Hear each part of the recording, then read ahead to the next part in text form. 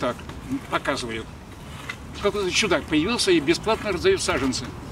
А мне нравится. Я раздаю. Значит, буду участником посадки озеленения не только я, но и привлекаю народ, население.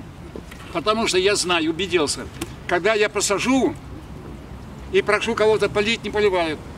А это, говорит, не я сажал. Или не мы сажали. Даже зелентрес наш, который занимается озеленением города. Где-то я сажаю, они мои деревья не поливают. Это, говорит, не мы сажали. И вот я знаю, если человек сам посадит, я ему дал саженец, он где-то посадит, он обязательно будет поливать и будет ухаживать. Вот такая моя сейчас теория.